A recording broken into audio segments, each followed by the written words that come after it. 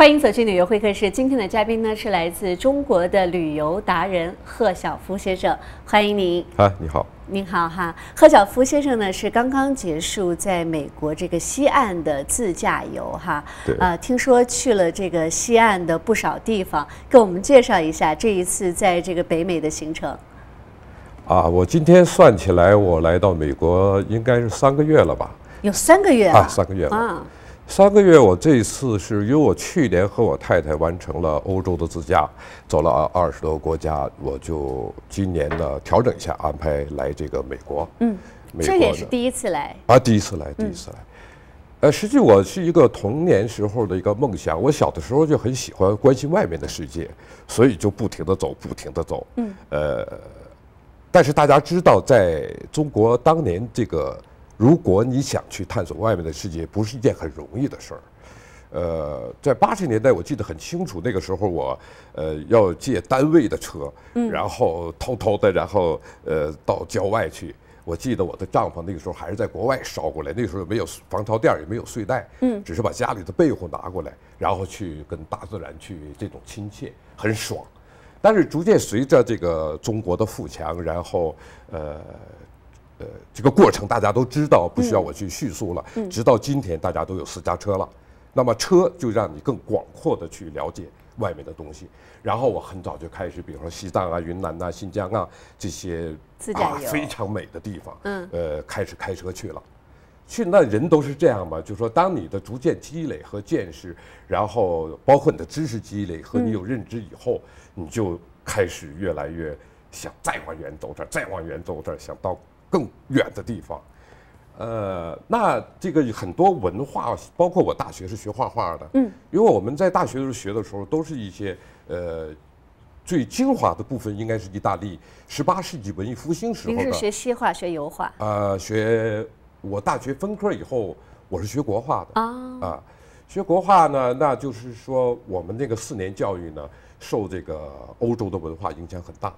包括意大利的佛罗伦萨，它文艺复兴的发源地。嗯，我去年去了以后很大感受。然后我欧洲这个签证的时间是有一定限制的，我走完了以后，我又就是按我的计划。我这个人和我太太的计划性很强，嗯，呃，喜欢慢节奏。呃，那我觉得今年该来北美看一看了。所以我来到美国以后呢，我的第一站是在马里兰州，呃，去了加拿大。嗯，啊。原来我计划是想买一台二手车，因为我知道美国呃没有交通工具等于哪儿也去不了，甚至买买买一包烟、买一个菜都很难。呃，我原来计划如果更方便的话，根据我的经济情况，我想选一台二手车，因为我的旅游身份呃也可以在这里呃去买车、去做保险。然后我想把加拿大东部、西部，然后美国的西部，然后这样走一趟。呃，后来呢，反正是，呃，最后最后的决定吧，我还是租车走的。嗯，租车我先去了加拿大，加拿大一直走到魁北克，呃，法国风情那儿，然后回来呢，我又开始走西西部。嗯，西部呢，我去了以后呢，呃，因为我喜欢一种未知的，呃，您都去了西部的哪几个州啊？呃，最重要的是黄石公园这一带。哦，黄石公园一带。我的习惯呢，总是。在没有大的计划，呃，没有细节的计划，只是大的方向。然后我在过程中呢，再去决定我的结果。那就是说，有的时候走一点点，我觉得哎很开心，我就可能不走了。嗯，我不是那种呃去了一个地方必须要把所有的地方都去全。我喜欢一个环境的氛围，更喜欢一种乡村的味道。呃，这次我去西部呢，确实呃对我触动很大。呃，那最大的触动呢，我想应该是，呃。我觉得像黄石公园那一带的地貌呢，我觉得是一个像作品一样。嗯，上帝赋予了人类这样一个地方，我感觉就好像没有任何人去触碰过它，只有一条你看到的路，这好像是人修的，其他好像都是呃那样的原生态的一种状态。嗯，你总有种感觉，在它的安静的基础上，你总有种感觉看到是，好像是人类第一次来到这儿。哇！你一回头，好像旁边又看到人了，你又打消了这种概念。这种环境是，呃，我觉得是人如果要回到原位，回到生活的最基本层面的，呃那个位置以后，你的思考，你能感受到人和自然的这种协调。这也是您在这个旅行的过程当中哈最关注的一个感受，就是人与自然的关系。嗯，我喜欢一种，呃，当然北美是主要是看，呃，我个人的感觉啊，就是自然风光比较好。欧洲呢，呃，人文这块比较好。那在在这个自然风光呢，它会对人的一种生理的一种冲击。嗯，除了视觉。呃，和安静和空气的香甜，还有那种透明度很深的蓝天白云，因为我们小的时候都是阳光灿烂的日子嘛，它会让你，当它一旦触动你的时候，你就会在一个特定的环境下产生很多联想。嗯，比如说我们的曾经，我们的童年，它会启迪你很多，呃，曾经的一种故事吧。因为人都是有故事的，不同的故事，不同的经历嘛。嗯，那对于您来说哈，因为呃，说到自驾游呢，这个可能对于现在现呃近几年来说，对于国人来说比较熟悉。但是呢，您有一个特点是，呃，您不是组队游，您是和您的太太两个人一起自驾游，而且时间。比较长，就像您说的，一来是三个月，哈，好几个月的计划。那在这个途中，哈，因为是在国外，我不知道，就是呃，您觉得这个，比如说安全性啊。啊，因为我我我想哈，因为呃有不少人说，哎呀，其实美国还没有中国安全呢。我经常能够 看到这个呃一一一些帖子，包括一些言呃言论，因为呃美国毕竟它是第一，它是可以自由拥枪的国家，在很多这个地区哈，当然纽约是不可以，你必须要有执照啊，或者是特殊情况。但是在很多外州，比如说西部那些地方都是可以的。啊，您有没有做一些，比如说哎心理上的建设，或者说哎我。我有没有担心过？哎，我这一路要不要防范些什么？啊，这个你谈的这个问题呢，也是很多人特别关心的问题。嗯，比方说他知道我去欧洲了，而且是单车，包括我去美国了。像我们俩这种情况，外语虽然很好，但是只是靠二十六个字母，我们的外语习惯就局限在二十六个字母里面。呃，当然，就是你在交流的时候，有时也存在这个问题，就是说我走时间长了，我会明白，就是说，呃，尽管有翻译器，但是你的思维和词汇的组合应该，呃，变成，比如说你来北美，去欧洲，要变成他的思维，然后再叙述这一件事儿。嗯，如果你完全用本地的这种思维方式，尽管你用翻译器或者是怎么样，呃，对方也很难听懂。那现在话讲回来，就是说。呃，包括我去欧洲，我们俩单车，实际我们两个就是比较喜欢慢节奏和自由性。我想呢，大家凑在一起呢，也有它的优势，但是我想每个人的诉求点都不一样。那么人和人之间还要互相关照，就是说，比方说我去西藏，我也是单车去的，当年，那你要跟一个同伴儿，你接近西藏目标的时候，突然他病了，你说怎么办？嗯，是吧？你要你不可能不照顾他，你照顾他的话，你的计划就会流产。所以从这只是其中一个原因，但是呢，就是每个人的呃诉求点不一样，和玩儿实际也是一种生活状态，个体生命的生活状态。你的生活和别人不可能是一样的，所以我们习惯是这样。那安全的问题呢，我还呃没有太考虑过，是吗？呃，但是有的时候不考虑，像我去欧洲，我在西班牙，我开着车的时候就被人把车胎给我扎了。啊，呃，长得还好，后面有一个当地人，他跟着我，他发现一些难民在跟着我，然后我的车停了，他也下车了，然后打电话报警。还有我在法国，德国和法国挨着很近，我无意中去法国了，然后我去办电话卡，我离车二十分钟，车就被敲了。这种事儿呢，我想它的概率是有的。嗯，所以有的人经常问我这个问题，我就讲我说，这个问题很难回答，就是说你的心理素质是一方面，你的见识又是方面，你的知识积累又是一方面，那你在家里面生活。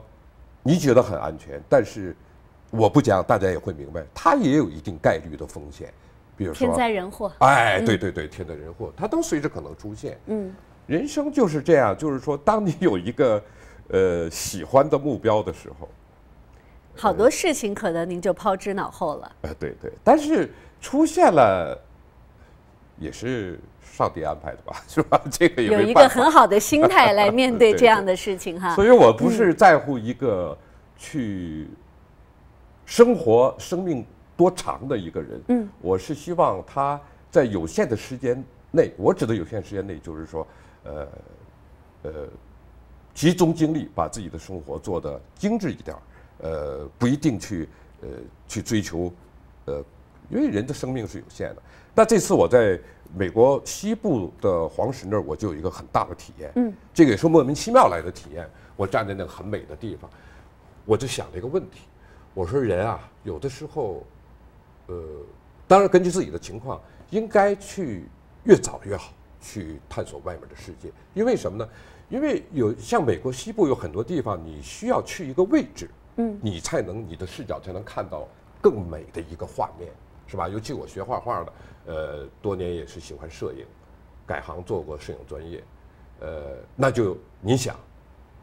这个位置需要你付出体力啊！嗯，我这次在马蹄湾，哇，零下四十度，好多老外都都中暑了，是吧？零下四十度还是零下？呃，零上四四十度，零上四十度，这个就是说你你的体能就是一个考验了。嗯，但是你有的时候，呃，往往一些很，他们讲过一句很很到位的话，说最漂亮的地方是最难去的地方。嗯，当然，你到一个景区以后，它有很多角度，如果你走下去，你就会能看到更美的，这个需要体力，是吧？这是我一个一个感受。其他的呢？其他的就是有很多细节上的体验了，不足挂齿了。呃，比方说是功能性上的东西了，嗯嗯，就是包括在美国开车，我发现哇，美国开车都超速百分之十，我有次掐着，我觉得他们超速。已经接近百分之二十了。嗯，我开始来的时候是严格按照这个限速走的，但是你你不跟着车流走，后面就会就会追你。哇，这个车速这么快，当然会节省时间，但是我才理解美国人为什么去开大排量车。嗯，因为大排量车在你高速的时候提速的时候，你的操纵性和你的驾驶性，甚至和安全性，哎，你会觉得很舒服，是吧？你要是小排量的。它的稳定性就差，你就会在全力以赴的集中，呃，就会觉得累一些。其实，在美国开高速呢，就是如果您老是走最左边的。超速超车道的话，它的车流是非常快的，对对对，而且经常超速。如果你看见前面的车流慢慢停下来，那一定是前面有警车。啊，现在便衣也很多。但是如果您走到靠右边的车道呢，您就可以按按照这个呃比较慢的一个速度走。这样的话，后面的人可能也不会就是催促您啊，因为最右最左边它是一个超车道。但是不管怎么说哈，就是您的这些经历，其实对于很多嗯。很多人来说，哈，它都是一个非常难得。首先，您得有这个时间啊，而且您还有一个跟您志同道合的。伴侣和你一起上路，因为之前我也有采访过一些这个环游世环骑世界的人呢，或者也是自驾游的人呢，哎，他们一路上都还在找找伴侣呢，因为没有女孩子愿意跟着他 到处去到处去漂泊，所以这个也是呃天时地利人和，能够拥有这样的生活方式哈。那我们把更多的细节留到下半段再说哈，因为时间的关系，我们先休息一下。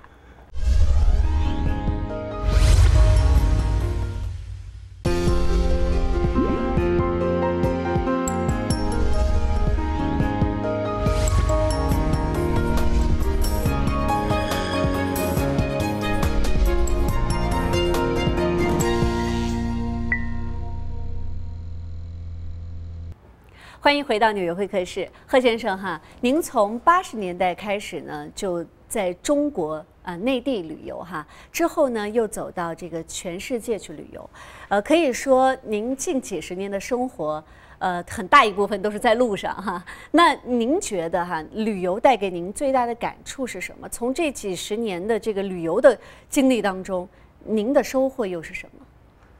呃，我个人的觉得，我最大的收获呢。因为呃，小的时候，当我有认知、受的教育，就是说读万卷书，行千里路。那个年代，实际你行千里路是不可能的。如果你从中国走到美国，你二十岁开始走，可能走到美国就八十岁了，是吧？它是这样的一个，因为社会那个时候就那样的结构。那今天是个信息社会、交通社会了。我觉得最大的收获呢，我们还是拿出时间去多看。那你看，首先你就要走，是吧？走在路上呢，你会逐渐积累你的知识层面。你会把你曾经的认知呢做一个平衡，嗯，就是说你呃小的时候对事物是那样的看法，你的经历产生了一些你呃不理解的问题，通过行走和对比，你就会有重新的认知，这是很重要的一点。那其实最重要的一点，我的收获最大的就是说，当你见识积累到一定程度以后，你走的比较多了以后，因为人都是从小来到这个世界，嗯，然后你要离开这个世界。虽然讲说我们赤裸裸来到这个世界，然后又赤裸裸的离开世界，是吧？很多东西是带不走的。那这个道理呢，就是说，那另外一个道理就是说，当你见识多、行程多，你最后呢，就可能会面对你未来的衰老、嗯、孤独、死亡，乃至疾病，是吧？你遇到疾病，你就不会那么恐慌，是吧？你衰老的时候，你就会觉得这是人的自然规律，你不会去再继续贪恋说啊，我想活二百岁，这这是不可能的，是吧？当然这只是愿望而已。我觉得最大的收获就是这样，就是你见识多的心态，哎，你你会淡定的多了，嗯，就不会像年轻的时候，哎，沾火就着，然后什么事儿，呃，就是非要去思维里边就那么一点事儿，你想的每天都是那么一点知识，然后你去跟别人争辩争辩，然后包括自己的亲属啊、孩子啊、父母啊，嗯，呃，每天都不是很快乐，是吧？这个行走会给你带来很多。知识和生活，或者是生命本身品质的一个提升，这个我觉得特别重要。不是说，呃，你把很短的时间安排的很紧张，去这儿去这儿去这儿去这儿。我接触过很多人，他这样忙碌的走，最后你跟他聊什么都记不住。实际最大的问题就是说，把你的见识转换为你的生活的细节里边去，是吧？好多这样的人，你就跟他沟通的时候，你就能感觉到。他他走过的路，你会在他身上学到很多东西。哎，那对于您来说哈，从这个呃亚洲、呃东南亚，然后欧洲，然后现在又在这个呃北美，哎，您的感受哈，就是在各个的不同的地区和国家，嗯，您感受到这种文化的冲击也好啊，或者说呃他当地的这种习俗啊，包括这种。呃，风格、地貌啊，这些变化，您跟我们说说这个不同地方的带给您的感受。啊，对，这呃，这个我大学学画的嘛，所以说我比较敏感，因为 这个艺术这块嘛。嗯。呃，您刚才谈的欧洲、亚洲还有北美，这个它是不同的呃文化体系。对。这个肯定是有所不同。那在欧洲呢，我为什么比较喜欢欧洲？就是我实际比较喜欢一种对。呃，人类做出贡献的一些国家，你比如说德国，它呃给人类提供了很多哲学上的东西；意大利给人类提供了美学，然后艺术；英国呢，它是一个呃政治体系和民主；法国当然浪漫了，是吧？它的浪漫，它的那种博爱也也也很是吧？是这样。呃，北美呢，自然风光不错；呃，亚洲的实际和。呃，中国就比较接近了，但是它也有不同的一种一种文化。嗯，但总的来说呢，我是对呃自然风光比较感兴趣。包括我走欧洲都是不走高速公路，我都是走乡间小道。这个乡间小道，你会拿车轮一点一点一点，像法国我横穿过三次，一点一点的去丈量它的那种味道。在乡村呢，它是最原生态的，它代表一个国家的文化结构，或者是它的一个。一个国家的一个基础的这个民众的生活和他的素质，对，嗯，因为你到那儿以后，你就会有一种，呃，虽然不同的文化体系，它又把你回归到人类之初的最基本的层面，就是说，呃啊，这儿的人是这样的生活，嗯，这样的地域给他带来了一种他的意识，地域确实影响人的一些意识和发展了，那一定对，呃，嗯。那具体说起来哈，就是在这些国家和地区行走的行走的时候，哪一些地方的人和事给您留下了最为深刻的印象？就现在让您回顾的话，哪些事情让您想起来依然触动心灵？呃，完美的事儿很怕在这个地球上不存在吧，是吧？我们生活中也是这样。不一定说是完美，或者说一些比较呃难忘的经历，它可以是。高兴的，但同时它或许也是悲伤的。呃，难忘的故事特别特别的多，在生活中一个小的细节，比如说我们在外面，我们只会二十六个字母，我们需要沟通，因为有些问题你没办法，必须要沟通的，是吧？你把房车停在呃营地里，然后你要做城市交通，去市里边，然后去这儿去那儿，这都需要沟通。但是这些细节特别多，呃，讲起来就是太复杂。我想主要是大的概念，我是觉得让我最感触的就是说，我认为让我舒适、比较美或者比较好，反正你用什么词都可以了。就是让我感触最深的就是说，呃，人和环境和自然，当然环境包括人类工业革命以后，呃，城市的发展，嗯，它需要一些高楼大厦呀或者什么，呃，这。这些呃不同的元素组合起来的协调，这个我觉得是，我认为啊，我个人认为是我最喜欢的地方，这是大的概念啊。至于细节上呢，就是有很多不同的故事了，是吧？呃，我觉得是这样。嗯，那具体说起来哈，就是因为我们说现在这个呃国人自驾游也好哈，或者说是跟团旅游也好，或者自由行也好，就是出国的机会越来越多，而且现在呢，在全球都能够感受到一个中国游客潮，这个可能和原来这个八十年代的日本非常像哈，在哪里都看见这个亚洲人，一一听都是这个中国话。哎，那呃，在您看来哈，这样的。一个风潮就是出国的这个热潮，呃，会不会为您的旅途带来一些利或者是不利？有没有人问您说啊，一看就知道啊，中国来的吧？或者说，就是这个身份对于您来说哈，就是中国人出去旅游，因为我们有时候能听到一些比较反面的例子，就比如说前几天，呃，有两个阿姨。在这个东南亚的某个著名的沙滩上面，可能给小孩洗尿片，然后就把尿片埋在沙滩上。结果呢，这个当地的政府也看到了这个视频，然后就把整个沙滩给封了，封了好几个小时，专门为找出这个这这这个尿片。所以说，可能就是我们在出去旅游的时候，嗯，一些个人行为，它会影响到你一个族群的一个形象。啊，甚至是生育，就我不知道您在行走的路上是否有遇到过正面或者是反面，类似于这样的例子。那我知道有些地方也是尤其欢迎中国的游客。啊，您谈这个问题呢，我想可以从另外一个角度去解析它。嗯，呃，在实际在不管是在哪个国家，人和人之间社会的体系，都决定了一个个体身份状态的它的素质问题。嗯。是吧？这个我想很重要。呃，我倒没感觉到这个问题啊，就是对黄种人也好，还是呃中国人也好，有一些偏见的东西。比方说我在欧洲，包括这次在呃西部自驾的时候，呃，当他知道，他也会观察你的举止、行为、言谈。像我们两个人去到，因为在很多房车营地里面，呃，你哪怕四五十个房车在里边。不论是白天晚上，当你闭上眼睛的时候，你会觉得这里连人都没有，是吧？那你的生活习惯一定要融入到这里边，因为这本身是一个很很文明的一个一个概念，是吧？那就是在他们知道我们两个人，呃，从那么远，然后开车来到欧洲，呃，他不认识这个中国牌照，他就会主动去跟你讲，说从哪里来？我说从呃中国来。他说一直开过来的。我说对，呃，他。他就会伸出大拇指，那这个大拇指这种信息传达给我的时候，我会觉得他是诚实的。因为什么呢？因为大家这个群体都是喜欢生活、热爱玩的人，也可能他的梦想是想开着车去走全球，他目前还没有做到，或者呢，他很羡慕你这种状态，能那么远的开过来。一定啊，对，所以他就会呃很尊重你，然后呢，呃。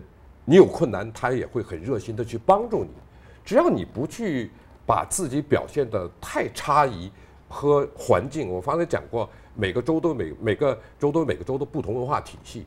呃，中国老话还讲入乡随俗。对，如果你不随俗的话，给别人带来一种干扰的东西，这个肯定大家会呃不会很友好的对待你。呃，这个还是需要大家，还是我那句话。